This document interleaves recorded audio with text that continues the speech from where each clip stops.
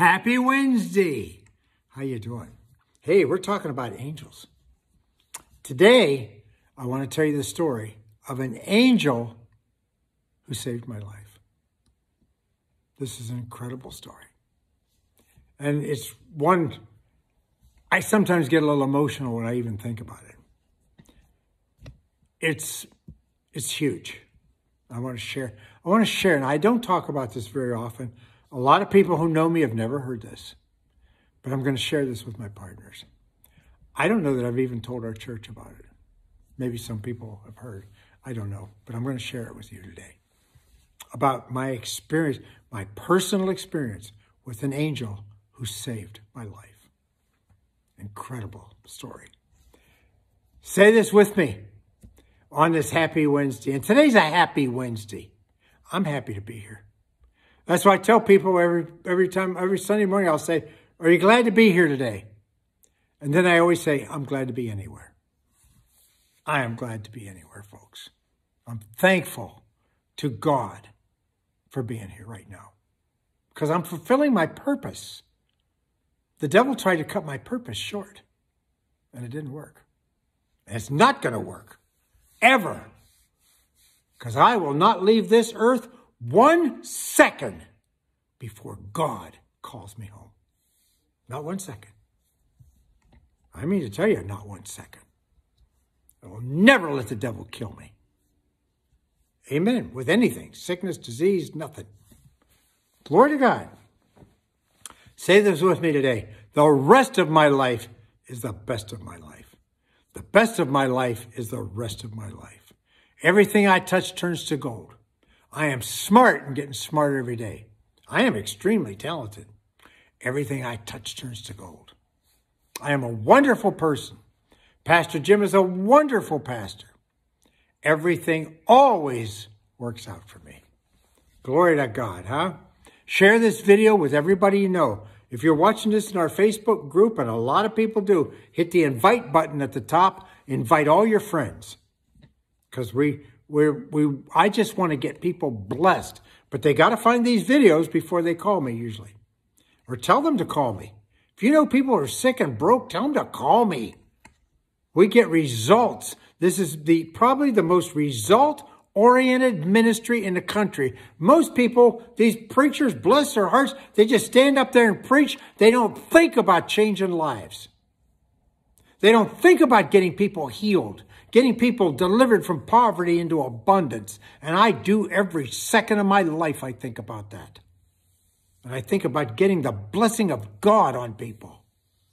I want God's people to be blessed just like God does. God takes pleasure in your prosperity. The Bible tells us in Psalm 38, verse 25, or verse Psalm 35, verse 27, I think it is. God takes pleasure in our prosperity. And I want to give God pleasure. And the more people I move into abundance and good health, the more pleasure God gets. That's what I'm trying to do. That's what I'm all about.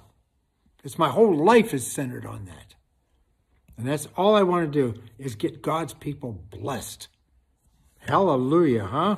Glory to God. Go to on YouTube, tell everybody you know to go to our videos. If you do your tithes and offerings today, call me so I can speak the blessing over you. The word for word blessing. Amen. If you just need prayers answered, call. I'm always ready to get people's prayers answered for them. I've been doing this for 30 years, over 30 years I've been getting results. I'm all about results. I don't just pray with people, I mean business. And I intend for you to get your prayers answered. Years ago, when, when we were in uh, Bible college, there was a man there. He was actually the dean of students. His name was Brian McCallum. He's with the Lord now. He was an Air Force test pilot. He flew out there in uh, New Mexico, out there in that where they were testing the jets when they first started with these jet airplanes, breaking the sound barrier and things like that. He was part of that.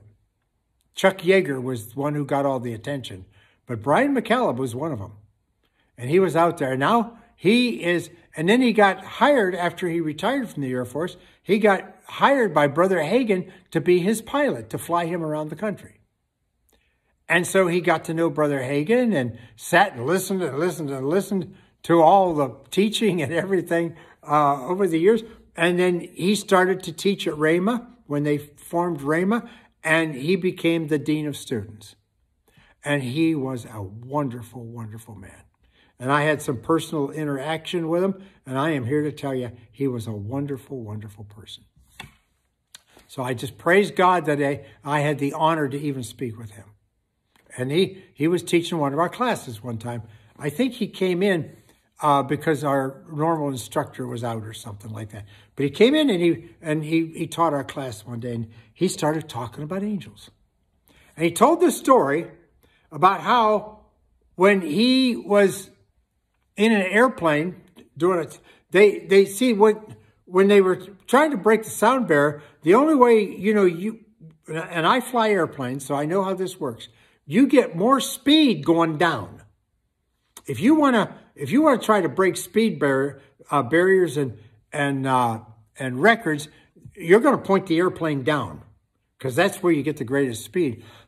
when I fly toward an airplane, an airport, if I'm flying at uh, 5,500 feet and I start to approach that airport, when I'm about 20, 25 miles out uh, in a small plane, I will pull the power back and put the nose down. And the airplane will go down slow because I pulled the power back. Well, if I kept the power, the normal cruising power, and pointed the nose down, that airplane would pick up a lot of speed. So in order to keep the speed under control, I pull the power back and put the carb heat on so we don't pick up any ice. And uh, there's, there's procedures for all that. Well, when they were trying to break the record in those jets, they would point the plane down and put the full power, and they would break the sound barrier.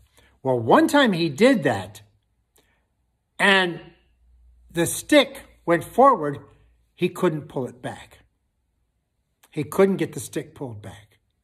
It was somehow locked up, and he was in a dive, and he, and of course, the dive starts at like 30,000 feet, so he's got time.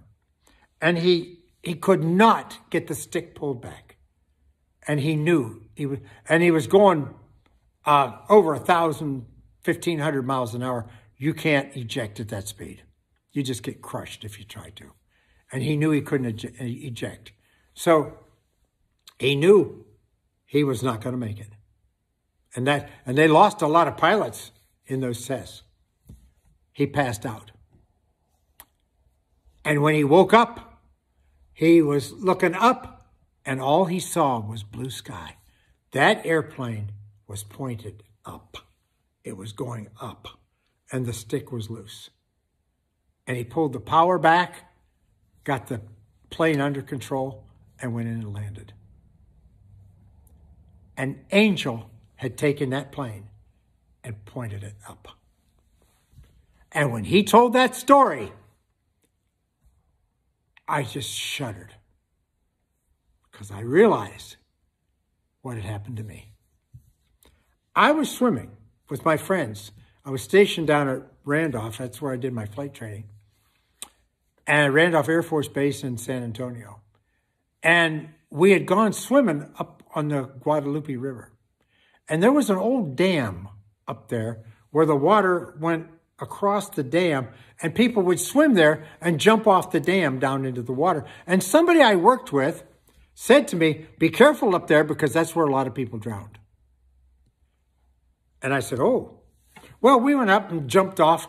Well, one day, a couple weeks after that, we were up there in the summer and I jumped off the dam and went down in the water and I got caught in the backwash. Because when the dam, water comes over a dam, it forms a thing and, the, and it starts to spin backwards. I got caught in it. And he told me a lot of people drowned right there. And they do. I just Googled it. There's a, a lot of people drowned on the Guadalupe River. And that's where they drowned, is right there at that dam. And I was going around, and every time I go around, bang, I hit the, I'd hit the bottom of the river. Bang, bang, bang. I could not get out. And I thought, oh my goodness, this is where everybody drowns. And it was. I was right in the same spot as where everybody drowned. And I couldn't get out. And I knew I couldn't get out. I was stuck. And the first thing I thought was, what is my mother going to think? My mother, who had raised us two boys by herself, was sitting at home in Pennsylvania. And I thought, oh, what is my mother going to think? She's going to be heartbroken. Then I thought to myself, it's going to be so strange with my friends driving back to San Antonio without me because I'm not going back with them. And there I am, bang. And finally, I just, everything got dark. I woke up on top of the water, being held up in the water. My head was being, I was held up and my head was out of the water. And I was able to start breathing. And my friends, and I was down, down a ways. And my friends were all on shore yelling and screaming because they saw me jump in and I didn't come up. And they swam out and got me because I couldn't move. I couldn't swim. I couldn't do nothing. And they got me and they brought me in. And I was okay. And I never realized, because I never realized until Dean McCallum told his story that an angel had pulled me out of that water. And the Lord just dropped it in my spirit when he told that story and said, That's what happened to you. Oh, it just, I was sitting there in my seat with all the other students and I just, I couldn't breathe. I just, I sat there when I realized that God had sent his angel to pull me out of that to save my life. Otherwise, I would have died as a young man. And I would have never, I'm telling you what, folks, when God has a purpose for your life, nothing will stop that purpose. He will do whatever it takes. I was not even saved. I wasn't saved. I was as lost as lost. I would have gone to hell if I'd have died there. I would be in hell at this very minute if that angel had not pulled me out of there. But instead of being in hell, instead of being in hell, I'm here getting people saved, healed, and delivered, and preaching God's word to anybody who will listen to it. Glory to God. If you've had an experience with angels like that, go on my Facebook group and and and put write your story. I'm gonna I'm gonna put a note on there today for anybody to make comments and fill it out. Share these stories with other people. Your story. If you have a have a story, and I'll, I know I'm not the only one this has ever happened to. It's happened to a lot of people that they've been saved by angels, or even helped when you know it's an angel that helped you. I'll I'll put uh, an invite on. Uh, on my Facebook page for anybody who's ever had angels help them. Glory to God, huh? Or you can text me your story and I'll post it. Glory to God, huh? Hey, call me today if you need prayers answered. Call me today if you just want to share your story about angels. Glory God. But I'd rather have you share it on Facebook so everybody can see it. Amen. Call me when you do your offerings and donations tell everybody about these videos. I am determined you are going to live a curse-free, blessed life. And I will use the power in the name of Jesus to make it happen.